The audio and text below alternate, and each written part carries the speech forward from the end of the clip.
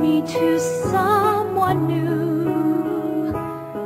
Unexpected, unexplored, unseen, filled with promise coming through. Do you promise to love Him? That is to respect Him being the head of the home, to obey in all things for the sake of love and the Lord's will, By his side in sickness or in health, and forsaking others, to keep yourself only for Him for as long as you both shall live. one. Do I face each true?